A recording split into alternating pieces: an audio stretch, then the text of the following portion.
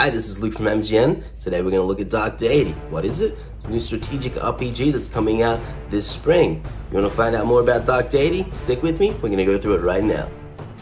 If you're a huge fan of the first few Fire Emblem games that came to the West, and like me spent many an hour chasing the light around with your Game Boy Advance, well, Dark Deity is here for you.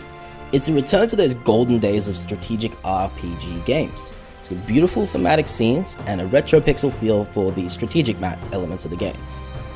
Dark Deity releases sometime this spring, um, and it's brought to the world by its developer Sword and Axe LLC and through its publisher Freedom Games. The game is available to look at right now, um, and you can add it to your Steam wishlist if you want to check out the game, have a look on Steam, videos, screenshots, all that good stuff.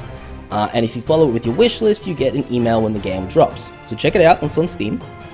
What's drawn my attention specifically is the depth of the upgrade system and the hankering for a solid Fire Emblem style game that is far and away from the latest release in Three Houses. Not to say the Three Houses doesn't have its own merit, but it's a far cry from things like Sacred Stones Fire Emblem games. So, if Sacred Stones and those similar to that are something that you're a fan of more than the recent releases, well, here's your answer it's Dark Deity. Not only does the game return to the roots of strategic RPG origins, it preserves the art style as well. But it also ensures that the game is given a modern twist and kept up with the developments since those golden age. Since those golden times, rather. We're getting things that add depth to the genre in Dark Deity.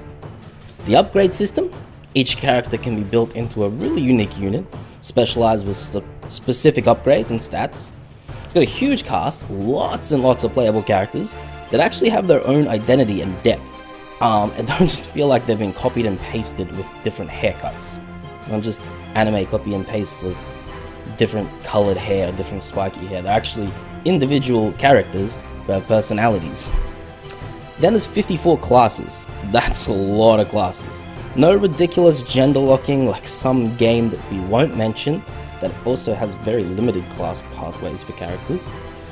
There's just a lot of reasons that lovers of the genre will enjoy Dark Deity when it launches. It's absolutely worth checking out, even if you're not a fan of these type of games.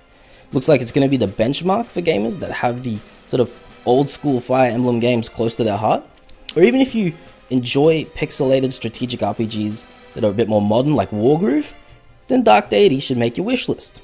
Anyway, we're looking forward to launch, so keep your eye out on mgn.gg blog and our YouTube for more news about the upcoming release of Dark Deity.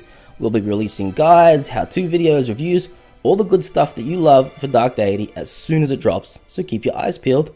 Thanks for listening.